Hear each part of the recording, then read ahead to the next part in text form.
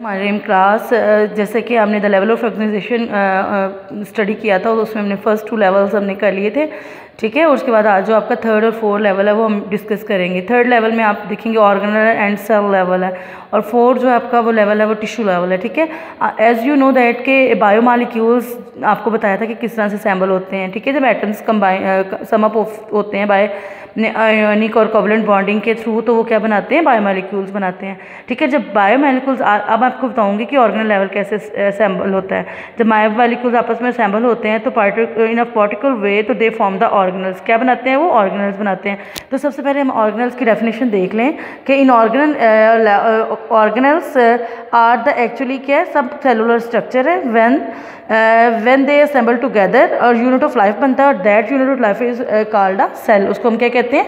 Cell कहते हैं ठीक है? और एक सेल फॉर्म हो जाता है। वो जो एक लिविंग uh, ऑर्गेनिज्म का स्ट्रक्चर uh, है। ठीक है? अब देखें कि जो आप each type of organelle organelle हैं is a specialised to perform a special type of function ठीक है?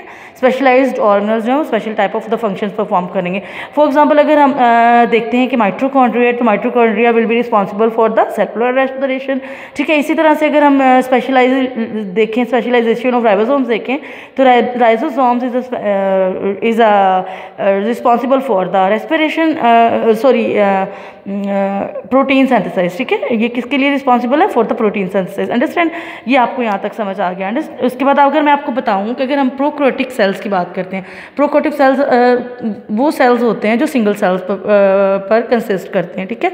उसके बाद अगर हम देखें कि इन केस ऑफ़ स्मोस फिंजाई फिंजाई और कुछ आपके ऑल एनिमल्स और एंड ऑल प्लांट्स हैं। ये जो है बेसिकली मल्टी सेलुलर्स हैं और they consist of the trillions of cell ये क्या है? They consist of trillions of cell जैसे इंसान है ह्यूमन बींग है, वो भी ट्रिलियन ऑफ़ सेल से मिलकर ही बना हुआ है। ठीक है, इसके बाद नेक्स्ट जो लेवल है, आपका वो टिशू लेवल है। ठीक है टिश्यू लेवल को हम इस तरह जब हम मल्टी सेलुलर की बात करते हैं तो मल्टी सेलुलर के अंदर जो हैं मल्टी सेलुलर ऑर्गेनिज्म में जो सिमिलर सेल्स हैं, ठीक है, वो परफॉर्मिंग द सिमिलर फ़ंक्शंस ठीक है they perform their same tissues मिलके जो है, वो सेम तरह के फ़ंक्शंस करते हैं। और ये ग्रुप ग्रुप ऑफ़ जो आपका सेल्स होगा that is called the tissue इसको हम क्या कहते हैं? टिश्यू कहते हैं।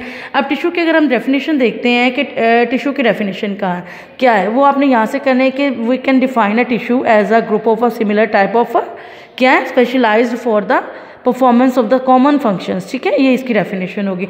अगर हम इसकी एग्जांपल देख जी टिश्यू लेवल की डेफिनेशन के बाद देखें, आपको मैंने डेफिनेशन बता दी कि सेम टाइप ऑफ़ जो मिलके सेल्स जो हैं वो एक तरह से फ़ंक्शन परफॉर्म करेंगे तो इनको हम क्या कहेंगे? आपको टिश्यूज टिश्यू कह देंगे, ठीक है? उसके बाद अगर हम देखेंगे, इसमें हम अगर एग्जांपल्स देखते हैं तो टिश्यू लेवल्स में हमारी डिफरेंट एग्जांपल अगर हम प्लांट्स में एग्जांपल देखते हैं तो प्लांट्स में देखें, आपकी एपिडर्मल टिश्यूज़ होते हैं ग्राउंड टिश्यूज़ होते हैं ठीक है?